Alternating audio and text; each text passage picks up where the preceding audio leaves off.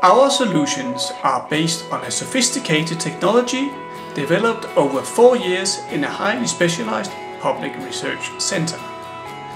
It is an extremely thin and flexible film capable of withstanding very high pressures and temperatures. Hence, our film is compatible with the most demanding lamination and insertion processes and it is even washable. What in plain daylight looks like a simple plastic film becomes a visual authentication element when it is examined in polarized light. Observing the label in polarized light, different sets of latent images appear on each side of it. The images are individually visible just by flipping it over.